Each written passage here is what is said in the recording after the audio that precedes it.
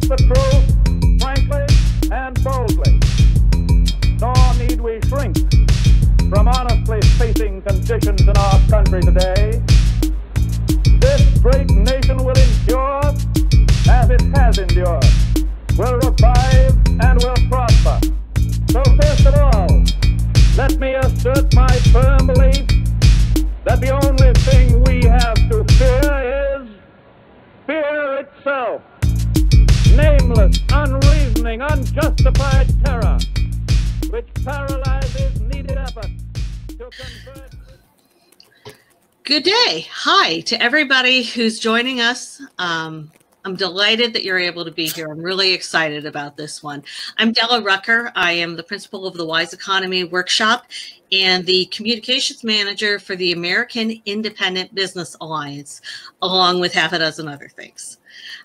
I am delighted today to be able to introduce you to someone you might not have met yet, but I kind of think you should know.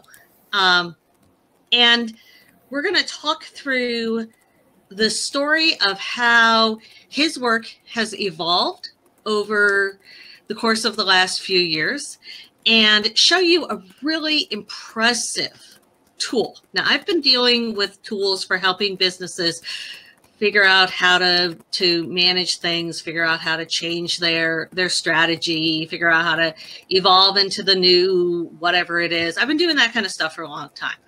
I really love this tool that we're going to end up being able to show you today that Jaime has developed because it is um, it's it's it's a whole new approach on it, and it's an approach that that really comes from a very deep and really pretty amazing um, experience that his family has had in their own journey of pivoting a a small business, an independent business. So, Jaime, it's it's a, a delight um, I'm really glad we're getting to do this. Um, why don't you start by telling folks a little bit about um, your own background? Um, you're an architect by training.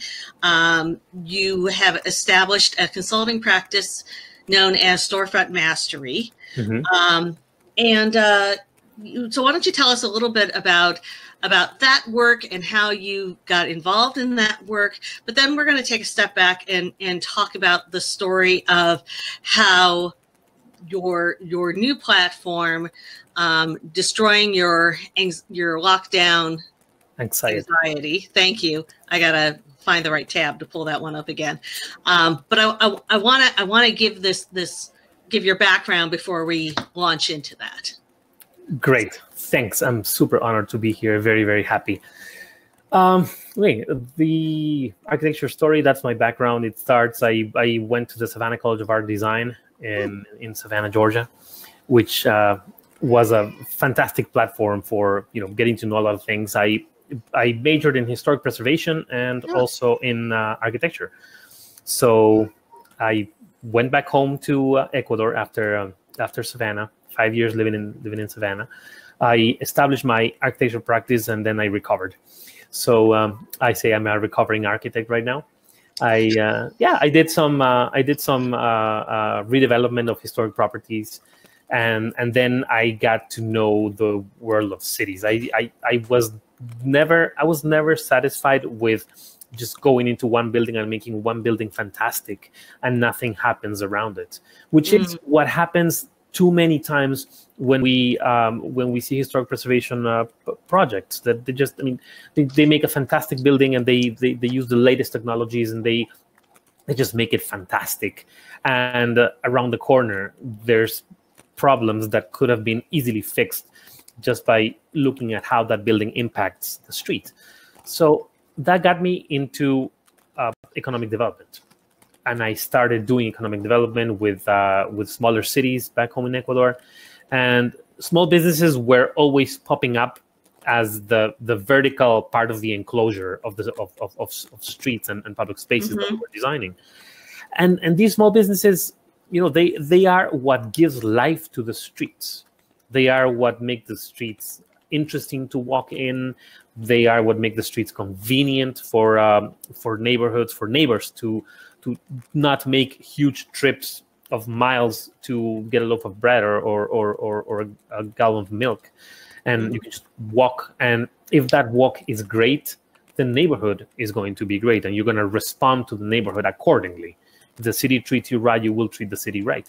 So this is how I got into uh, economic development, and small businesses and this is where it interacts with my intersects with my uh, with my family's business they have a, a, a small bookstore an independent bookstore in uh, in in quito ecuador which uh, is called rayuela which means hopscotch you know the children's game and uh, so I got into the, the, the looking at small businesses part of uh, of economic development, and I established my consulting doing that, doing that part of of of, of EconDev. And then when I came to the to the states about three years ago, I said, okay, this is. I, I was living in a fantastic area, probably one of the best pedestrian streets in the whole country, which is Lincoln. Road in Miami Beach. If uh, folks have not been to Miami Beach and, and Lincoln Road, please do Google whatever Street View or something, and it, it is it is really a fantastic uh, fantastic uh, place.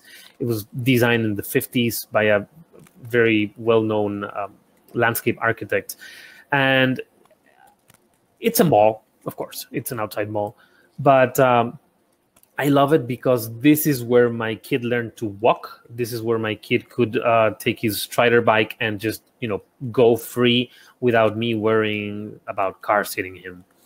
Um, so it, it, it is truly a fantastic place. I, so I was looking at those storefronts and I said, okay, this these all these storefronts all share something. I started finding patterns, mm. and I um, I wrote a book about an, a book about design patterns of storefronts, of how people who have a business and for whatever reason have not engaged a professional designer, an architect to uh, to design their storefront, they can just take this book and see what is needed to have a great storefront. Not just the design elements, but also the engagement and the interaction elements of um, of the storefronts. So you can imagine how much I learned about how storefronts work, how storefronts engage the sidewalks, and how the sidewalks become, you know, parts of the storefronts. That's fabulous. Before we go, before we get past this point, um, let's make sure. Let's say the name of of the book here. Um, the book is called "The Ten No BS Rules for Successful Storefront Design." And people can find it where? People can find it in, on my uh, on my website storefrontmastery.com or i have also a page for the book which is uh, uh, successful storefronts that carrd that's c-a-r-r-d dot co that's co not com but just okay okay yeah but it's in it's all in my in my storefrontmastery.com website. Okay, okay, so you can imagine how much I learned about storefronts and how they engage the sidewalks and how they have to behave to activate their blocks, neighborhoods, and mm-hmm. ultimately cities.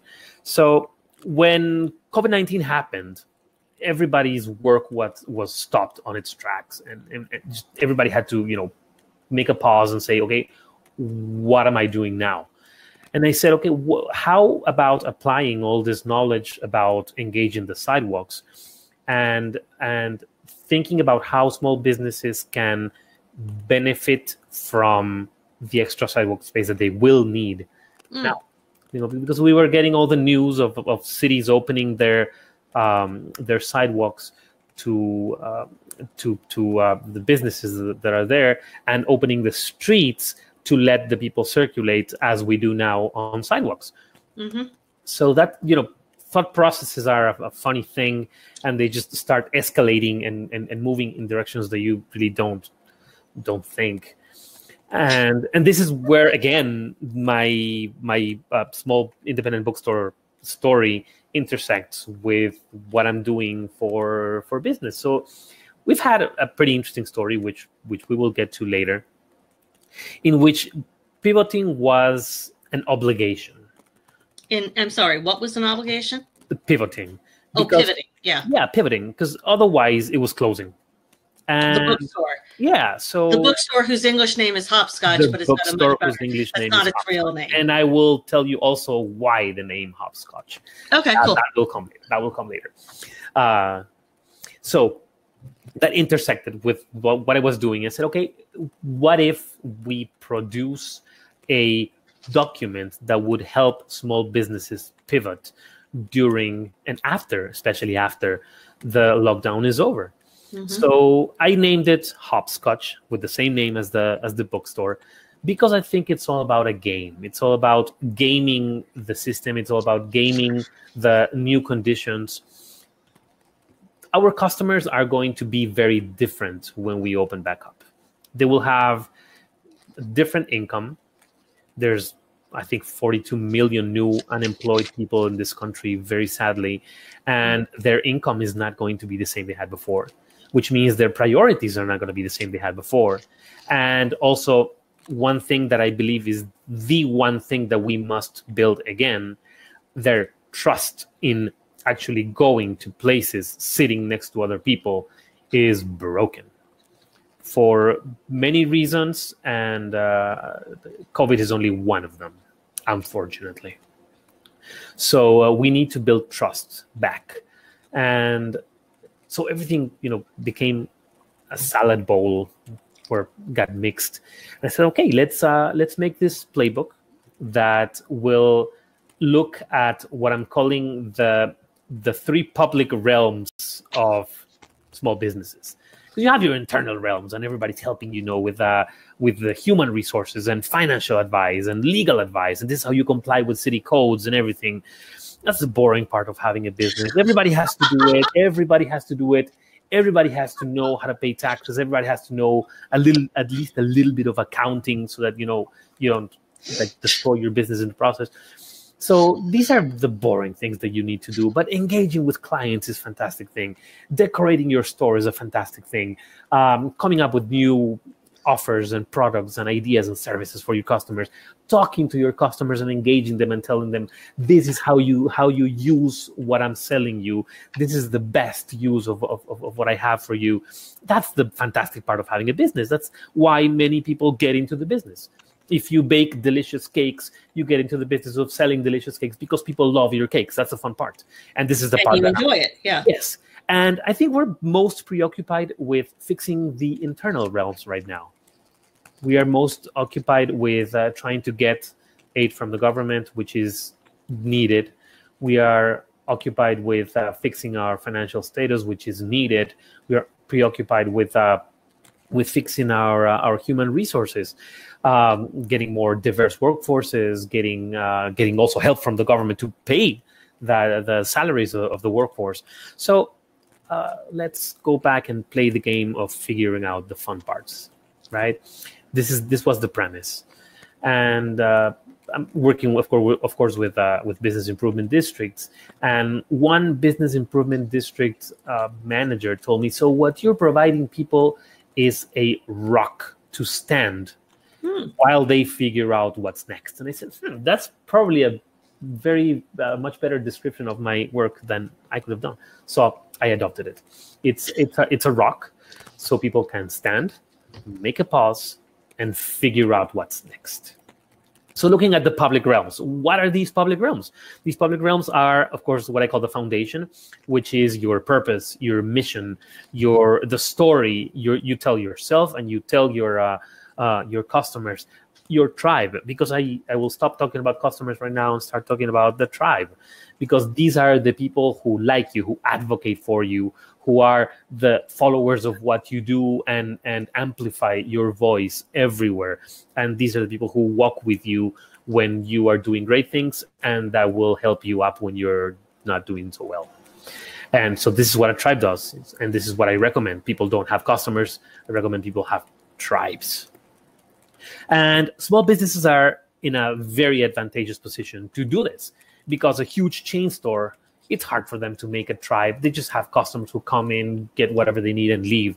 The small businesses are built with so much care and passion and, and, and, and time put onto them that what happens is they become they become cult- cult objects. And you know how we love the movies from the 80s because they, they are fantastic and they play this song that everybody remembers john cusack you know with the with the, with a huge tape recorder playing peter gabriel's song. That's a cult movie and small businesses have that thing that can make them also cult businesses and this is what we need right now because that's the scale of, of, of, of, how we are operating right now. We're not driving our cars, we're walking to the neighborhood store to get whatever we need. We're not driving 15 miles to Target, especially in towns like mine, where thankfully there's no huge footprints. So, uh, um, huge footprint stores. So, I, I, need to drive like 15 miles to the next mm. Target or 20 miles to the nearest Walmart. So, I don't. I mm-hmm. shop local. And that experience of shopping shopping local can be enhanced greatly if the small businesses realize that they have this fantastic asset, which is their storefront and the way they engage the sidewalk. So that's the foundation part. Then the delivery part, which is what you sell.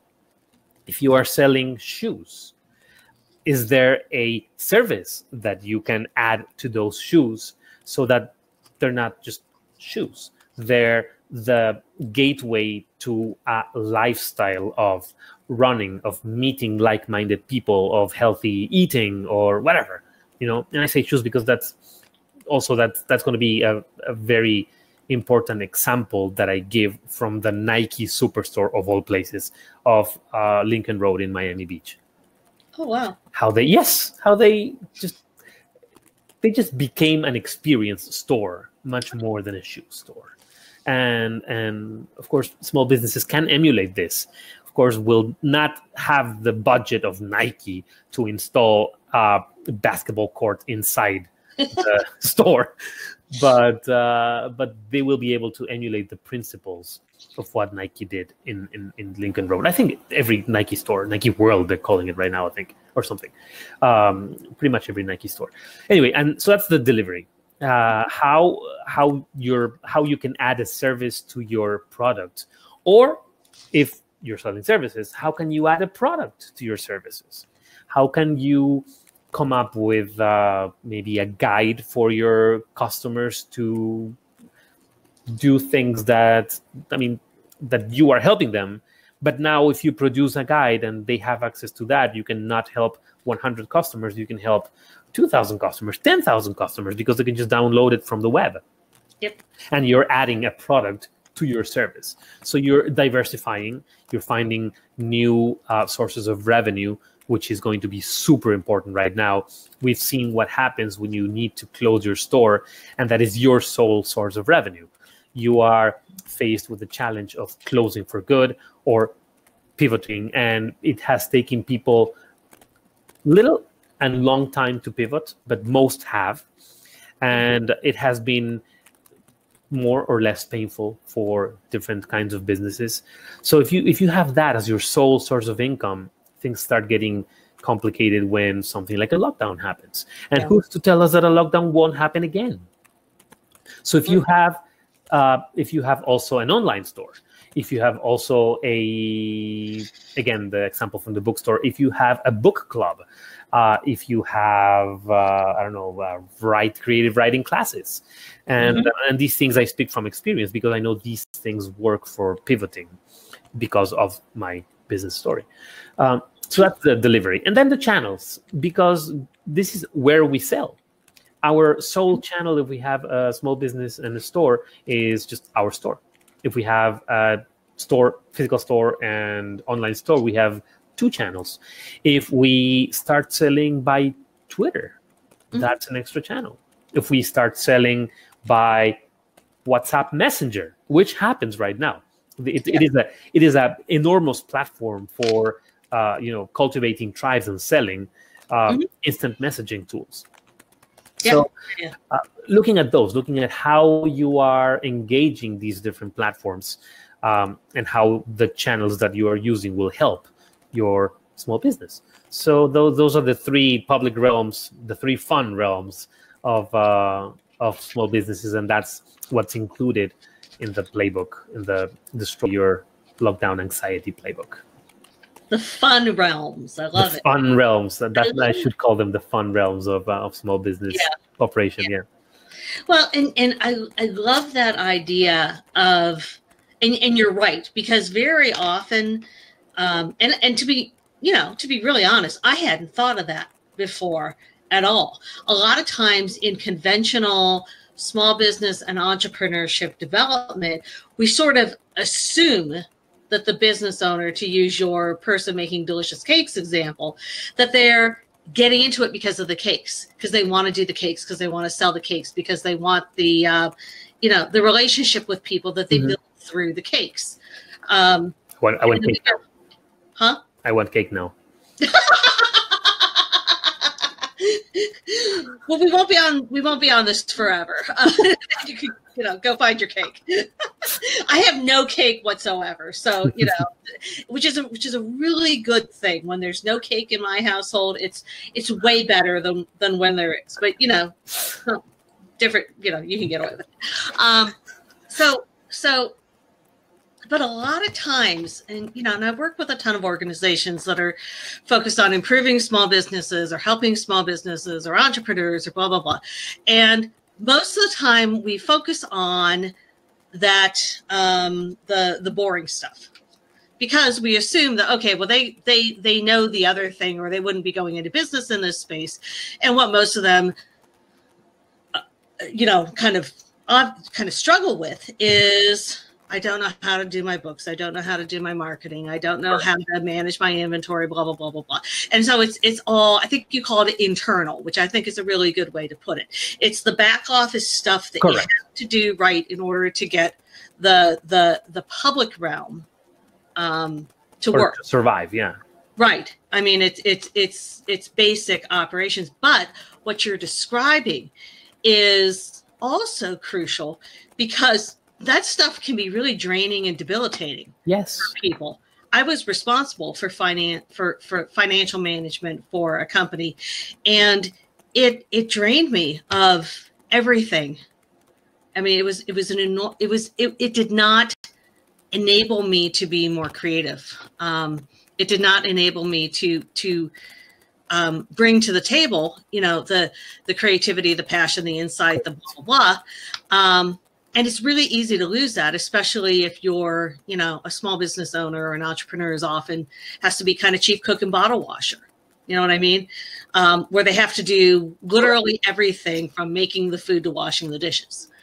Um, which might run afoul of health regs but you know i'm not yeah. But what you're describing is a way for people to re-engage with their passion. Correct and their love and their and the thing that they get the energy from to deal with all the rest of that stuff exactly.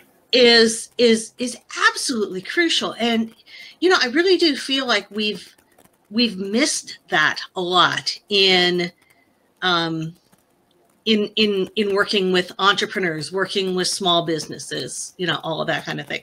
So you know yay fabulous. I mean i think you really put your thumb on on something that um, is is often missing and is often overlooked and in a period of massive and accelerated change mm-hmm. we have to be able to do so yeah, and, and and right now i mean many many people are really struggling with uh, not being able to make the paychecks and not being able to make rent and not being able to just assure the longevity of their businesses. And in that process in that process we lose what made us happy about the business. And if, if we lose that in, in and i can speak in, in, in from first knowledge of this if we lose this the whole business starts crumbling down very very slowly.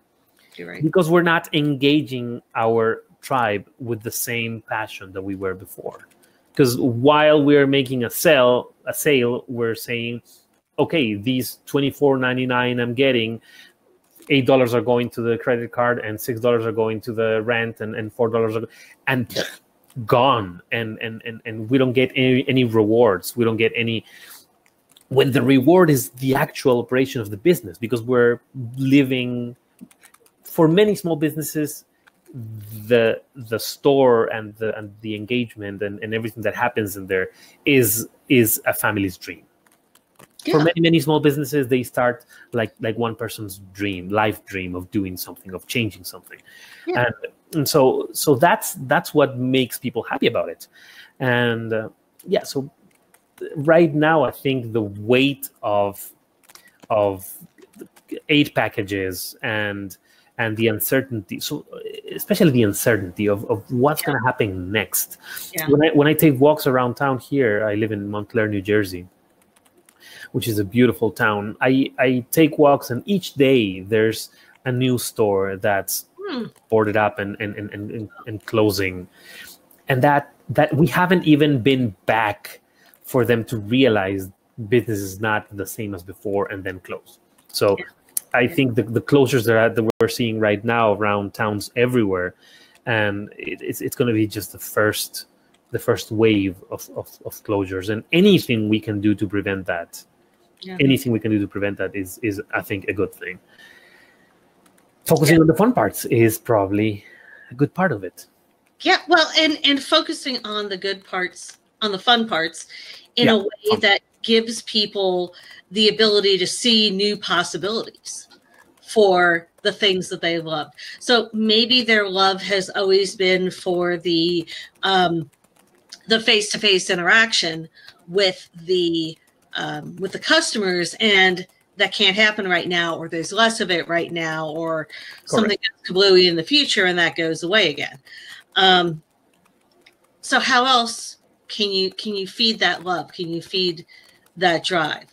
Um, I know one there's a there's a business owner who happens to be in Northville, Michigan, which is which is a pretty um, pretty comfortable um, suburb of uh, Detroit. Mhm.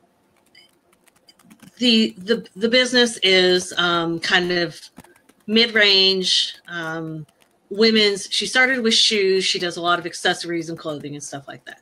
So my mother-in-law took me there one day and i've just been in love with the place since.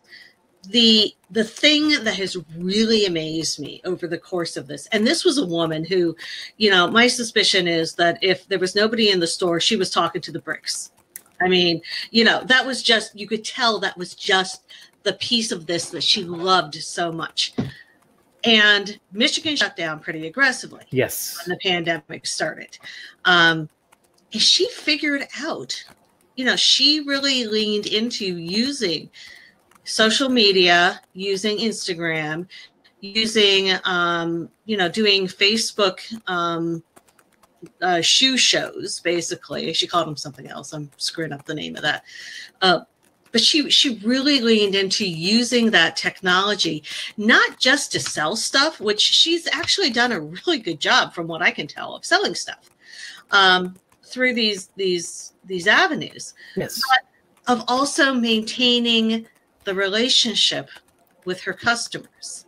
Yes. And you you can tell by the amount of energy that she puts into it just how much you know this this really matters to her and it matters to the customers too which which Yes, which yes. is what motivates them to go to facebook and and see a shoe a shoe show um yeah it wasn't very good know yeah, no no but i mean really i mean it's it's it, it, if you are able to motivate people into coming to a specific time of day and leaving whatever else you're doing. Maybe some people are not doing much but some people are working still from home.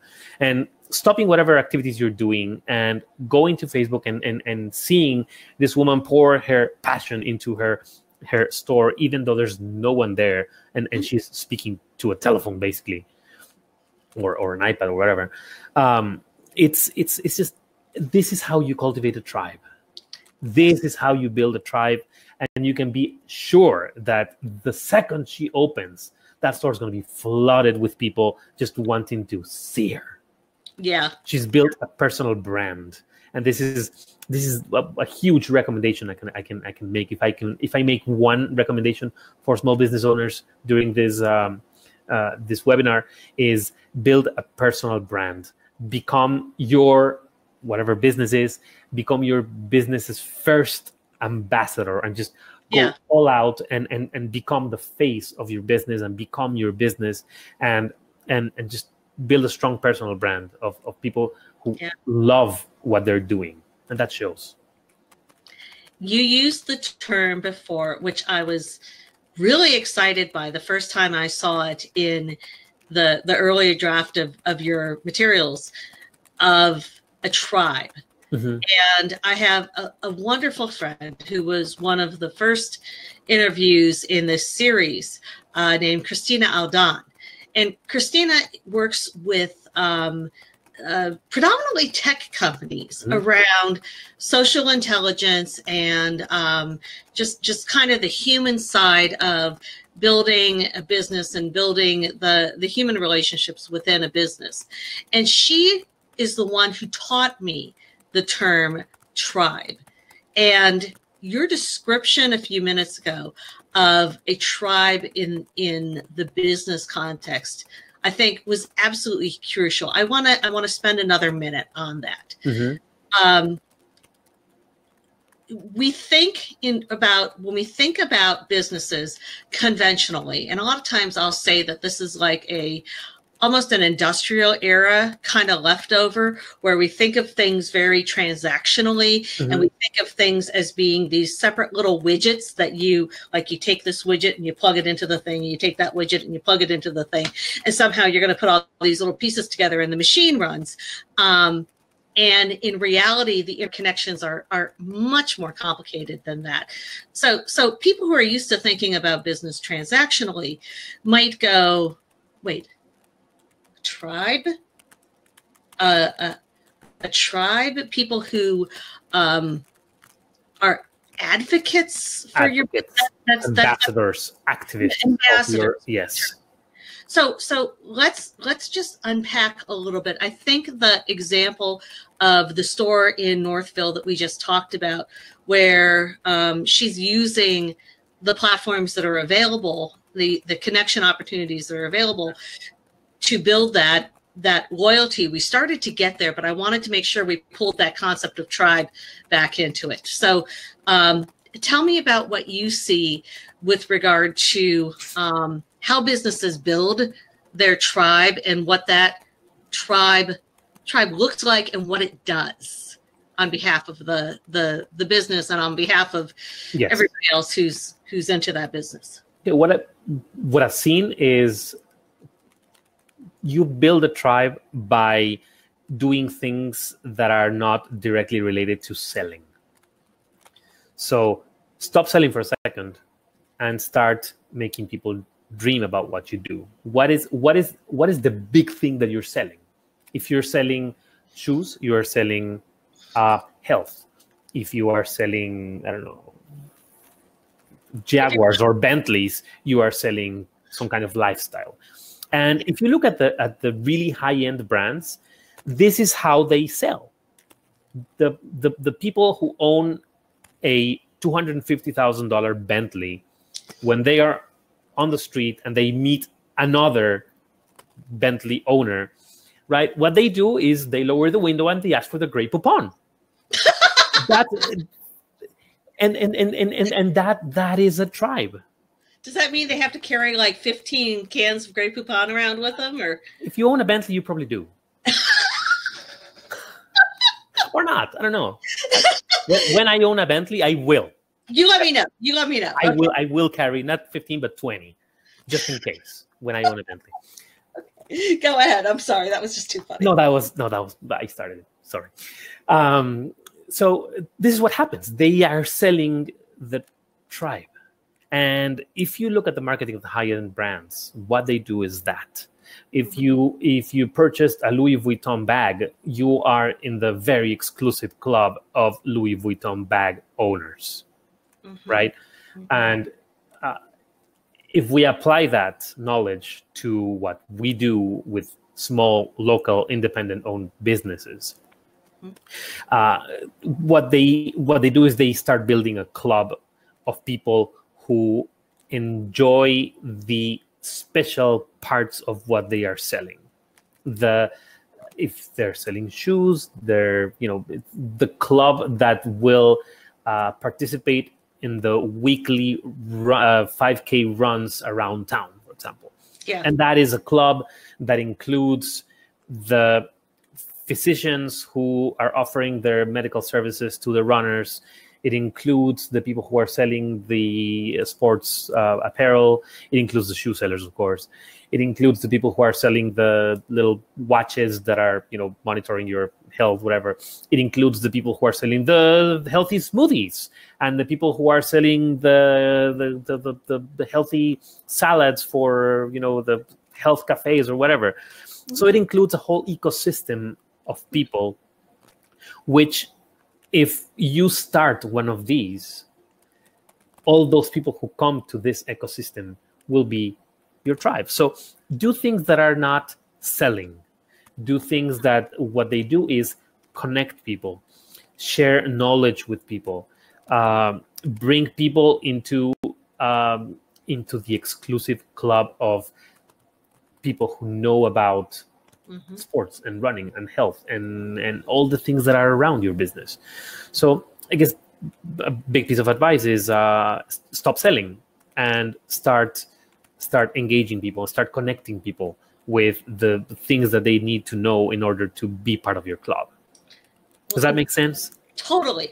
And one really incredible piece that you added on to that, um, in in with the example you gave, is you know we is is that the tribe is not just one business and its um, advocates, its acolytes, Correct. people who love it, whatever. It is. It is again. It is an ecosystem. It Maybe is ecosystem within a larger ecosystem. Um, and, and, but what that also implies is that if I am the person who has that shoes an accessory shop, and I'm not meaning to disparage her because you know I think she's doing the level best she can, and this stuff might be going on. I don't live there, so um, I don't catch everything. But it's not just a matter of her relationship with her customers. Mm-hmm. It's a matter of her relationship with compatible businesses um, that that sort of are serving the same market, the same um, the Correct. same population, and building that ecosystem so that so that they're relating with each other in multiple ways. So it's more of a circle than a fan diagram. Correct. Correct. Right? It's more of a, a 360 degree thing that you know it's everywhere um, and also with, the, also the community also with the community which is which is very very important for example if you are teaching guitar lessons and you need to hang your this is my phone number for guitar lessons sign somewhere mm-hmm. where do you go do you go to the store where no one walks inside or do you go to the store that everybody visits at least once a day Mm-hmm. You go to that store, and this is where you hang your guitar lesson sign. And chances are, when you bring your paper in, they will say, "Look for a spot," and you'll be um, you'll have a hard time finding a spot because everybody's choosing the same bulletin board to hang their signs. Mm-hmm. So these places are becoming hubs for community.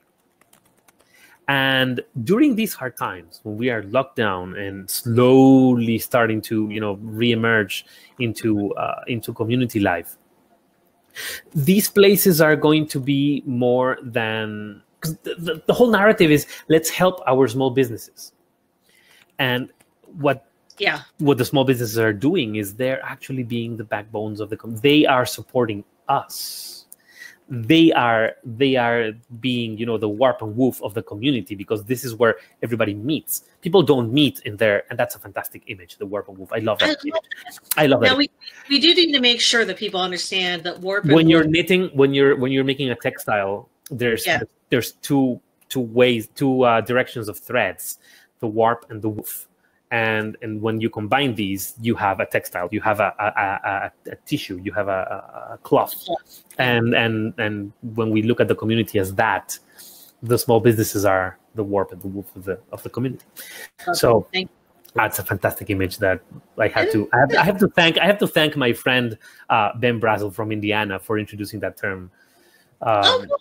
he, he, and I introduced his name because what he does is he has a a monthly gathering of people who any person from the community who has a story to tell whatever story it is they open a place in uh, in in his uh, in his town in Indiana, Richmond, Indiana, and they people go and just tell their story. And these people are being the warp and woof of the community. And I've been using that term forever since since I found out. So these places are, are are are becoming hubs of community, and Yeah. that's right now it's a super important thing to to to cultivate tribes. Because they are this is where we meet. We're not meeting anywhere else. We're meeting in the neighborhood uh, bakery. We're meeting in the neighborhood uh, uh, whatever grocery store or, or even the, the the wine store. These are very very limited number of places that that right now are allowed to be open and this is where we're meeting Th- this these are the places that are keeping the pilot light of community on the pilot light of community. You've you've got incre- your your your use of of metaphor is just it, it just kicks ass. Um, Thanks. I yeah, that was that was highly um, eloquent on my own part as well. But um, I, I, I do I do that. It, it's my second language, but I do that too. you're you're well, yeah. I, I'm, I'm, I'm behaving. I this is this is a complete aside, but I was reading something else earlier today and and uh on you know Instagram or something, and I went, I have such appreciation for a well placed cuss word. Oh yeah. Oh yeah. It you know, I I I'm not, you know, you don't have to make it every third word, but in the in the right context, that's just like everything. So, you know, little little little sidebar there. Um I want to show folks the um, the the the guidebook, but I do want to take just a second since we promised it, and and just tell a tiny, just if you can tell us sort of a short version of um, the hopscotch. That's the English name. It has a Spanish name because it is in Cusco, Ecuador, the the family business. And I promised I wouldn't try to pronounce anything in Spanish because I butcher it. So you know, I was doing good to get Jaime out straight. Um, And that's perfect. well, why don't you why don't you tell us just just a little bit, just to give an, an illustration of some of the things we've been talking about, of of how that impacted um, or how this this process played out with regard to the bookstore in Cusco. It's in, in Quito, Ecuador. Sorry. Quito, I'm so sorry. Yeah, sorry to correct you. That was the Um, Uh, yes. So I guess the most important thing that the people need to know is that Ecuador doesn't have a national currency. Ecuador, yes, Ecuador uses the American dollar as the national currency because the economy was tanked so bad that we actually had to ditch our national currency and adopt the US dollar.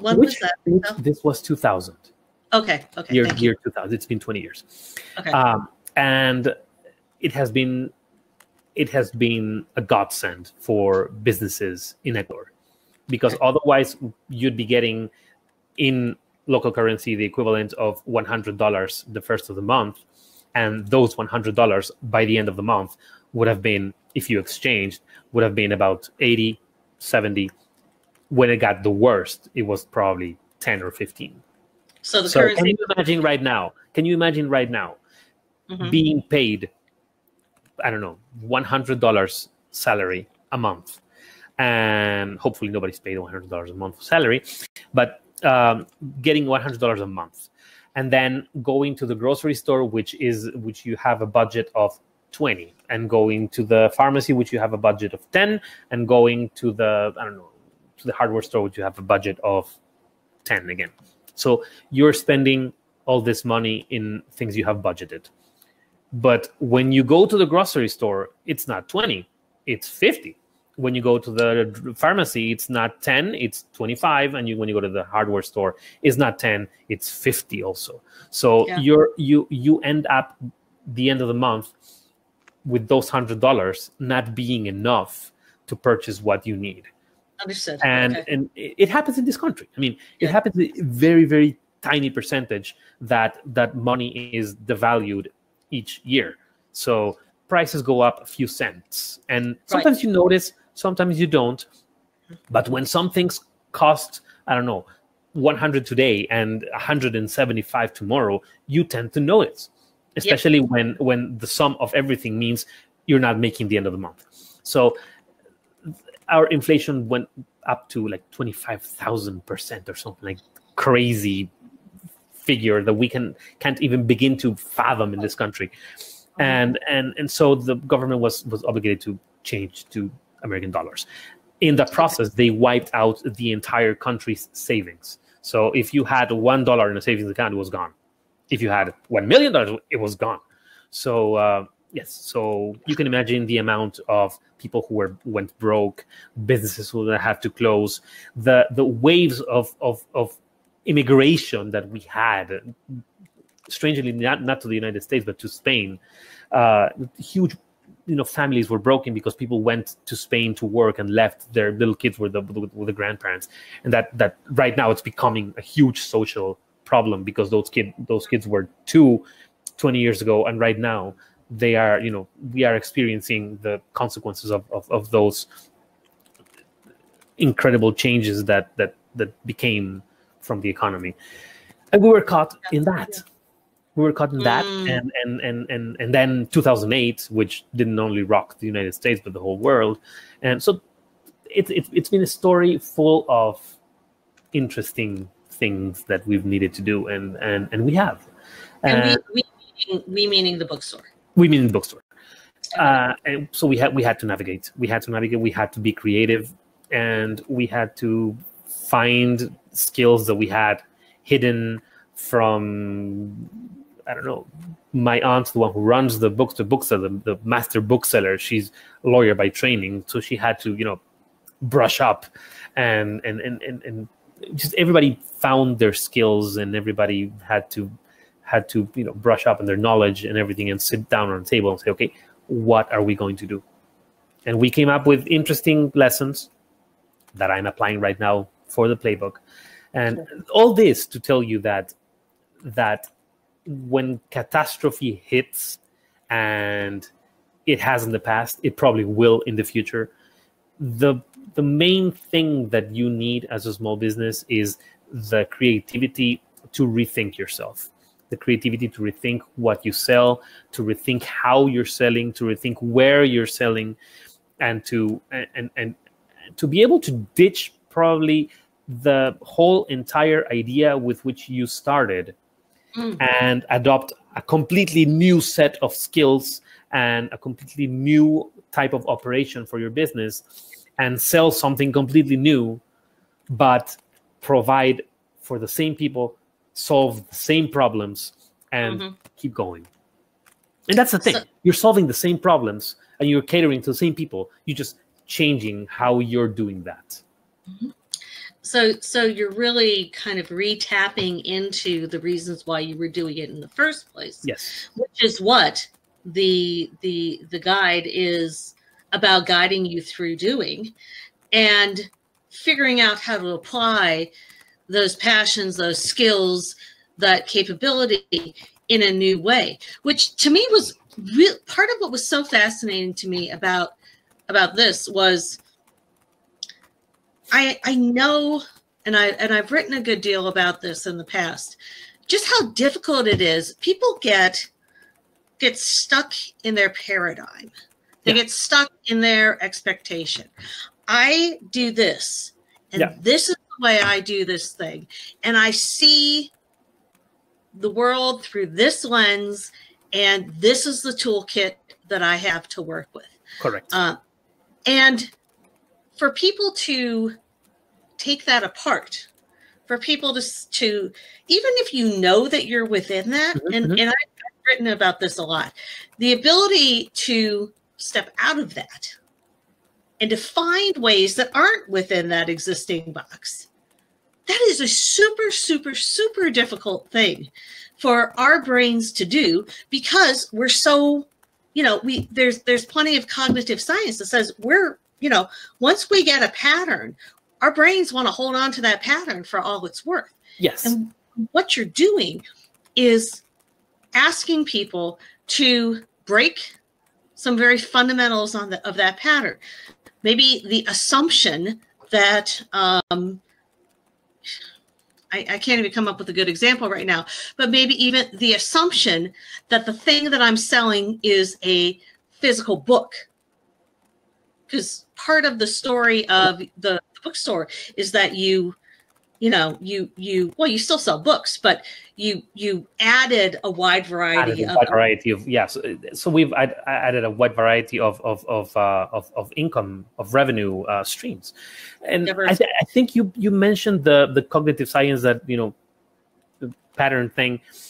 I like I do this all yeah I'm, like I'm not i'm not i'm not asking people to uh, so mr small business owner please break your paradigm what i'm doing is i am i am i am using i'm a i'm an avid reader of, of psychology carl jung especially and so what i'm doing is i i, I i'm asking people uncomfortable things Mhm. I'm asking people things that will trigger some thought patterns that will allow people to basically see the answers that they provide to the questions because the playbook has th- three exercises. The first one is wh- where you assess where you are right now. These are just Mhm. basic questions that you make you qualify one to five. Would you like me to show it? Um, sure, if you want. So Okay. the the the first part is just you know a value assessment of where you are right now. The second one is the game plan, which is this is where I ask the, the uncomfortable questions that will trigger thought patterns and will will will trigger ideas that will challenge what you're doing right now. And the answers that the small business owners give to these questions, when they read them, those are the answers that they need to break the patterns. So I'm not asking people to break the patterns. I'm asking people to answer questions, and they themselves will break the patterns alone later. I love So- that. Yeah. So Yeah. so this is what we did. This is what we did, and and and right now I can tell you it was a bookstore which uh, called the providers and got the books, put them on Mhm. shelves, opened the doors. People came in, got the book, paid, left. Right now we are a bookstore. We are a publishing house. We are actually we are two publishing houses. One that publishes one that publishes with a line of of you know psycholo- psychology books, philosophy books, political science books, uh, social sciences, and one that publishes uh, whatever nonfiction and and and uh, or rather fiction and little poetry books that anybody wants to publish and and whatever doesn't conform to this to the very rigid social science academic kind of work that we do. So we have two publishing houses. We have we have uh, uh, courses. We have creative writing courses and and a few others that i'm, I'm forgetting right now but but it's basically the the master bookseller who's also a writer is, Hmm. is is is teaching people how to connect with their inner self to write a biography it's super super focused Oh wow. and people are loving it. People, Huh.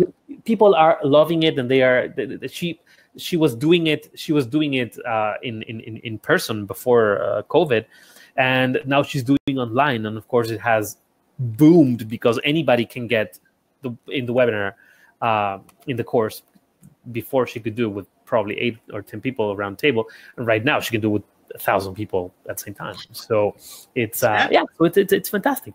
Um, doing that, uh, they also opened the the the space.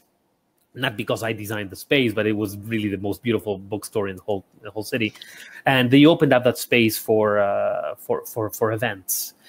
And even right now, we're we're talking to craft publishers who who make these fantastic little books out of like art books. And uh, people who are uh, doing like literary entrepreneurships and becoming sort of a co-working space where all these people of different of different uh, so i- the ecosystem again so Yeah, all, the, yeah, all, these, all these people that are doing things related to book to books Yeah. people Yeah. who sell books, people who make books, people who write books, people who edit books, people who make books beautiful. Everybody's getting together in this kind of uh, co-working space for uh, for uh, for literary co-working space. So adding many sources of revenue, what it does it it distributes the system of operation of the bookstore. So if something fails, if we need to close, we still mm-hmm. have it's one of five sources of revenue, which it will impact us, of course, mm-hmm. but there will still be four others that are Yeah. sustaining the business, and the business doesn't need to close down. Yeah, you you you've you've diversified and created a a tribe at the same It time. long time because you need to be on top of your social media. You need to be on top of your of your email list. Start an email list now. That's another very very important piece of advice. Start it now and start emailing your people. Hi i woke up today. I had a coffee. I hope you have a wonderful day. Bye. That's it. Just keeping your your your personal brand alive in people's Yeah.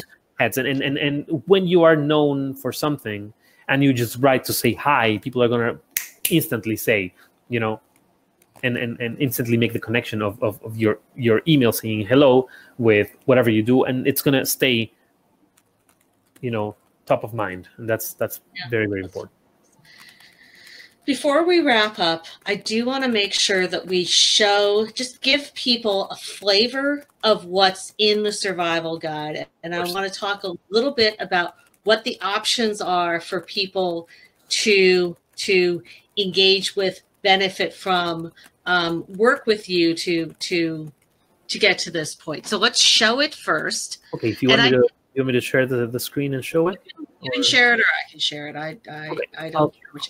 I didn't I'll- share it before because you were you were you were going someplace beautiful, and I was like, I'm not I'm not taking away from this right now. okay so I'll, I'll i'll i'll share and i'll i'll start you know i'll start right now you're going to see a very weird echo of signal but now Yep. you can see the playbook right So why don't you expand it um, full screen if you can? okay so this is this is how it looks like Awesome. and the you you mentioned the metaphors before the Mhm. army knife is a fantastic metaphor because this is what it's a it's a fantastic toolbox that helps us do many many things and it's very convenient to just take with you. And it's your sidekick. You know how superheroes have sidekicks? This this is your sidekick.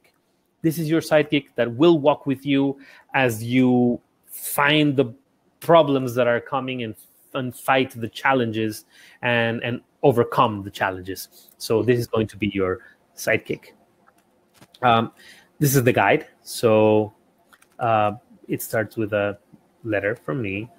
And this is what you can use it for right this is let me see if i can if i can ah here there There we go. Thank you. there, yes. So this is what you can use it for. You know, regroup, gather up skills and strengths, give the Corona lockdown a heck of a fight. Uh, find inspiration, find a rock to stand on, and this is this is basically what it what it does. It it takes care of the fun parts, like I said before. It takes care of the fun parts of uh of your business, the the the public realms of your of your small business.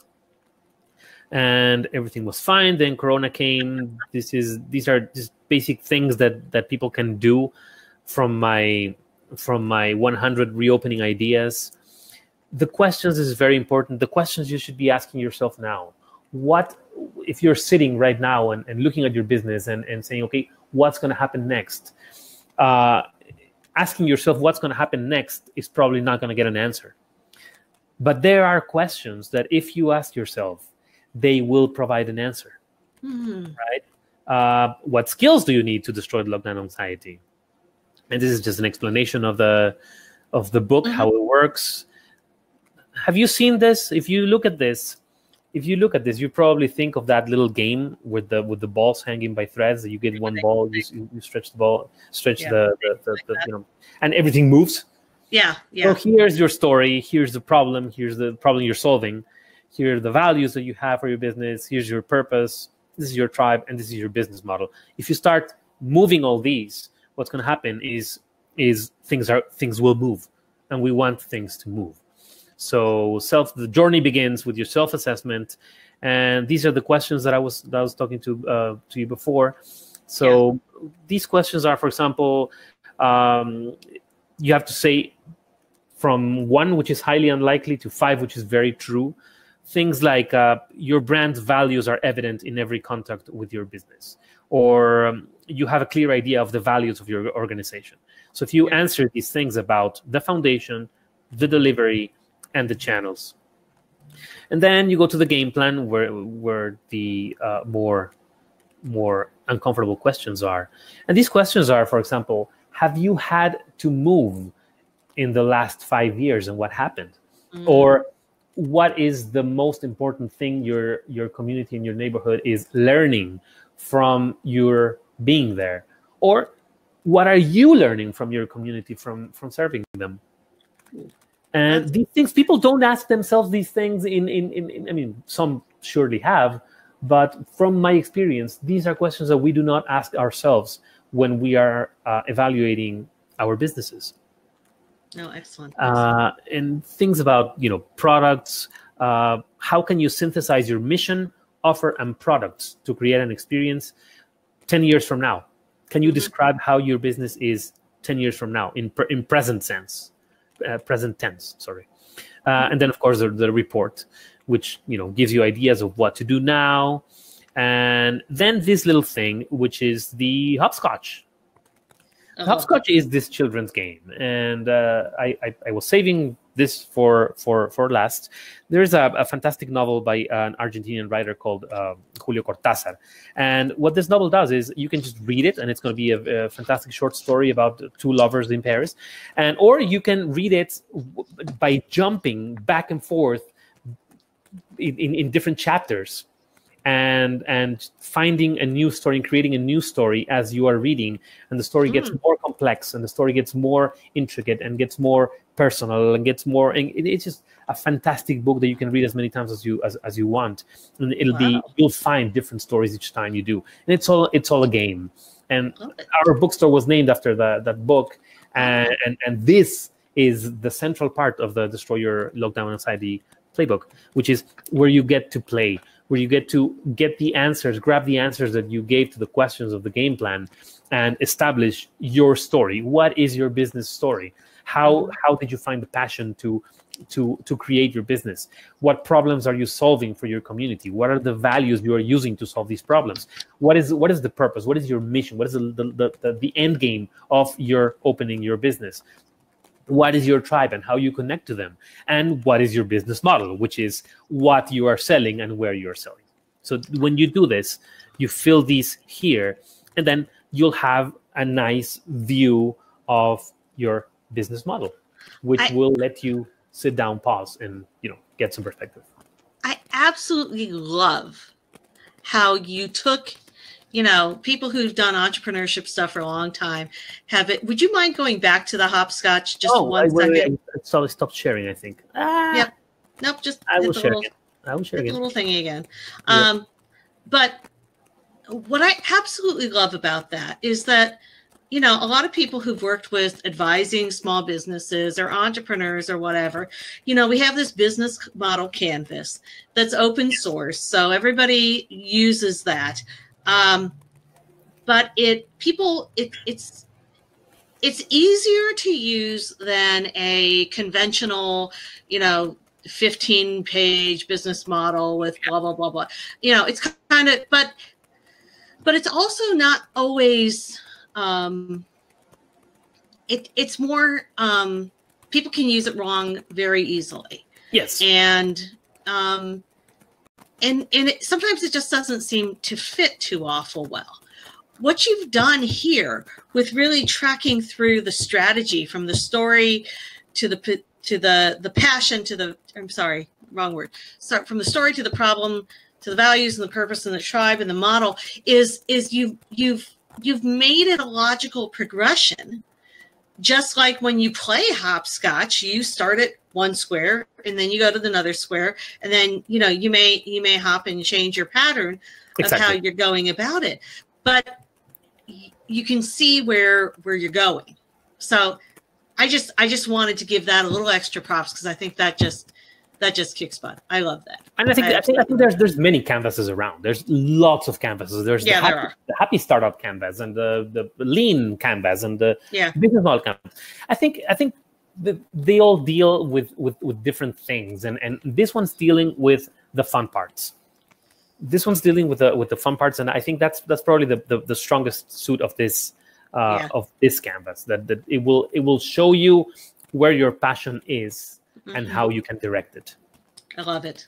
I love it. So go ahead and show you were you were starting to show kind of the the the final pieces here. Yeah, this is Uh, what's next, right? So. Mhm, Uh, mhm. uh, look at the design of your storefront. If you have a storefront, if you're a, a business with a storefront, right now there's so many opportunities to to build that into into the center of your business because that's probably for a long time it's going to be where you interact with your customers with your tribe Mm. so looking at how your storefront engages the sidewalk where you where you're operating is uh, is is a huge thing that will will uh, save you from many uh, headaches later.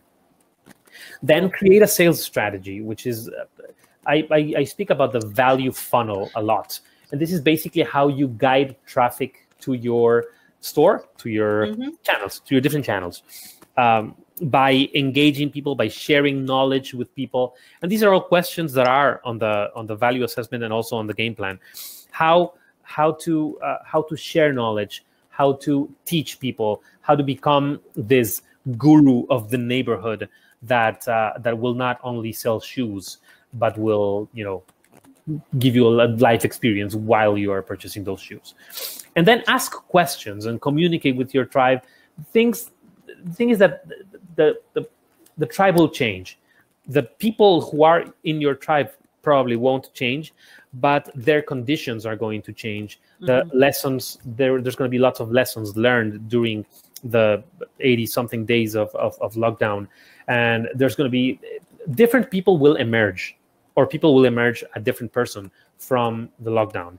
So the thing that we can do right now is ask, ask questions so i was selling you pizza before how will that change now how can i make the pizza suit you now Cool. Very cool. Very and that's it Okay. of course so, so how, how, the, how this works is i have it in my um in my gumroad store so Okay. people can just go there and and get and and, and, and do it do it themselves just i think it's like 57 dollars just buy this thing it comes with my design the 10 no bs rules for successful storefront design Okay. book and also with the with this playbook so they can do it themselves everything is this there is- so they can do it themselves So this is a bundle. Um, Gumroad is a platform for selling um, largely digital merchandise. Mhm. Um, so, so is that at Storefront Mastery? Is that gumroad.com? I think it's forward slash storefront mastery. gum.co because yeah or i think maybe maybe it's gumroad.com i don't know. Maybe Okay. Keep storefront mastery. storefront mastery is my uh is my username at gumroad. Um Mhm. so yes gumroad.com slash storefront mastery. And you can find me there. You can find all the products that i have there. And so if you purchase that it's going to be the playbook and the design book which the playbook you can just do it yourself you can do everything yourself and you can arrive to the canvas with everything you need. Everything is explained in there. It's a do it yourself business retooling kit. Business survival kit maybe. Yeah. uh, but you can book a play date in which we get together for 45 minutes um, after you've of course you've you know filled everything the questions and everything. We get together we speak a little bit about it and Mhm. you give me all the information and i i craft a tailored report for you with recommendations pertaining your specific business because right now if you look if you look at the report part of the of the playbook it's going to have generic recommendations kind of Mhm. generic it, it, they will apply but they are Mhm. essentially generic recommendations depending on on on how you do your um, how you answer your questions and the and the, the scores that you get in the Mhm. in the, in the Mhm. questions that you answer but if you if you book a play date it's going to be you answering this yes that's it that's me Mhm. it, if you book a play date that's going to be um, that's going to be us together talking about these things you send me the um, there the one on the right is that's the, that's the play date Yep. that, that's just the play date so Okay. yeah the 57 one is the um, So if you if you book the play date, of course, it's not going to be 199. It's going to be 199 less the 57 that you already paid. Oh, okay. Mhm. Yeah. So um, yeah, that's the one. Mhm. So if we get you, you book the play date, and what I do is I I craft uh, I craft a report that's tailored to your business. Wonderful, wonderful. The the whole platform, and we'll have when we post this, we'll have links to um, to all of these resources. Um, there'll, there'll be a post at wiseeconomy.com when the video and the audio go live. So you'll want to check those to, you know, if you have any questions about what these links are. But uh, they're they're extraordinary resources. They're really, really well done. And you know, the one thing, you know, I would I would just praise you for is you designed them in such a wonderfully accessible way. So you might not be using all that architecture stuff that you learned, but but somewhere in that process you found some really serious chops for designing these kind of resources in a manner that are just so much more accessible and so much more useful than a lot of the stuff we're we're, we're used to dealing with. So Thank you for it's just it's just impressive. Um, so if people want to get a hold of you, and again, we'll have this this link, but just you know, for anybody who who um, who wants to, how can they they get a hold of you? So your email is hello at storefrontmastery.com. Correct. That's my email. Okay. There's a, um, a Facebook page, Storefront Mastery. There's an Instagram page, Storefront Mas- uh, Instagram account, Storefront Mastery. Okay. Um, there's a Twitter account, which is DIY Storefronts, Okay. like do-it-yourself storefronts, DIY storefronts, and I'm on LinkedIn also. You're quite active on LinkedIn. So I yeah, I think I was more active before on LinkedIn and also on, on, on Instagram because I mean I was going out more and taking more pictures, but I try to stay on top. Of, uh, I'm I'm I'm on Twitter a lot now lately. Oh, okay. Okay. Yeah. Cool. Yeah, it does seem like, you know, we we we changed. I'm trying to find it right now. I shouldn't do that while I'm don't play with your phone, Della. Um but um, you know, the you know, different I different different social media platforms, you know, good for different stuff, different folks, Yeah. different people. Correct. But I I'm I'm guessing, I haven't looked at your Instagram yet, but I'm guessing that it's just like gorgeous especially with all your Miami Beach stuff. I'm like, oh my god, I got to go back and look through all that. That's uh, That is An fantastic. amazing place. Yeah, Miami Miami Beach is just fantastic. yeah, But I, I mean, small towns in the Northeast, they have. I've, I've, I've- still to venture all the way to Maine and Vermont, which is on the bucket list. But the small towns in, in New England are fantastic, and the small small towns in this kind of mid Atlantic sort of yeah, New Jersey, Pennsylvania, Yeah. fantastic towns, beautiful Yeah. main streets, downtowns, very quaint shops. It, it's it's fantastic what people do. yeah. Well, we're gonna have to get you. You know, the the Eastern Seaboard is a wonderful and lovely place, and you know, you've had the opportunity to be in some really gorgeous cities between Savannah and and Miami Beach, and and you know the towns the towns in the Mhm. um, Mid Atlantic. Uh, we'll have to get you. We'll have to get you to the Midwest sometime. So we we work a little different, but you know. Well, my, my, my, my sister lives in, in, in, in northern Illinois. Oh, okay. yeah. Okay. yeah. Well, and it's interesting. You mentioned Ben in Richmond, in Indiana. That's um, that's actually sort of halfway between. It's a little bit off the beaten path, but but kind of between Cincinnati and Columbus and Indianapolis. So that's about as Midwest as you can come. Yeah. So um, that's that's completely awesome.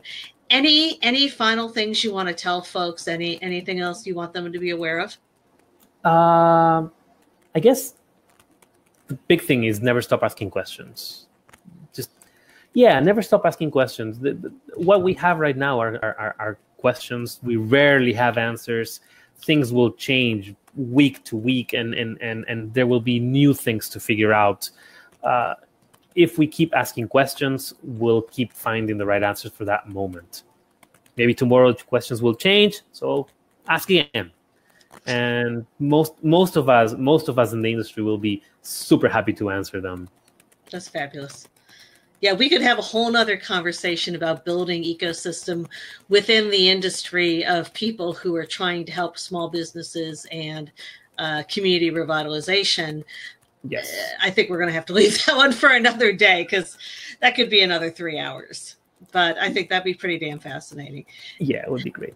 Jaime, this has been fantastic. I, I knew it would be fascinating. I knew it would be cool. And, you know, it's been all of that and more. So I am I'm very just- happy. good, good. I'm hugely grateful for you taking the time, going over the hour mark. Um, it was just such good stuff. I didn't want to cut it off. So we're a little longer than usual, but mm, that's okay. That's okay. Thank So- you so much. I've, I've- been super happy and, and, and Awesome. hopefully hopefully uh, I can help in any way. Absolutely. One more question though. We heard your little guy in the background. He's he's four. He's four. And what's his name again? His name is Maximiliano, Maximiliano. but locally he's known as Max. Well, yeah. That's a lot of syllables to have a four it year is. old try It's to his long say. name. His long. That's fine. That's cool. But uh no, he's he's I had a little bit of a chance to meet him when we talked Oh, before and, and that's right. he's that's a right. he's he's a cutie and a half.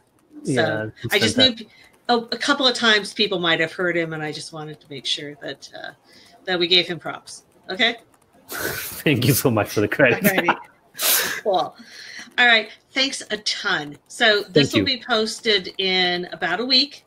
Um, it takes me takes I've got somebody working on editing. It takes a, a little bit of time to get um, the editing completed. When it's uploaded, this this um, this interview in its entirety will be available at um, you'll you'll find a blog post with all the links at wiseeconomy.com.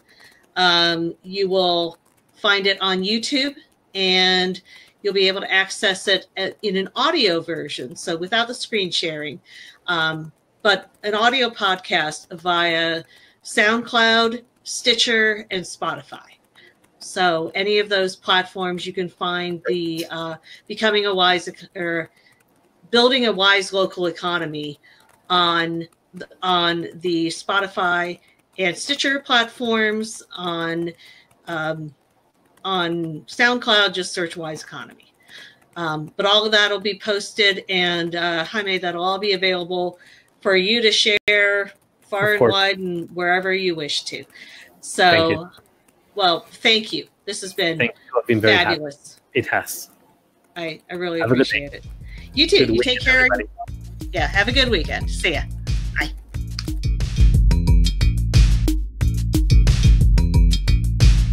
It is preeminently the time to speak the truth frankly and boldly.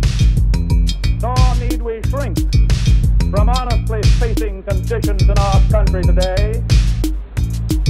Great nation will endure as it has endured, will revive and will prosper. So first of all, let me assert my firm belief that the only thing we have to fear is fear itself. Nameless, unreasoning, unjustified terror, which paralyzes.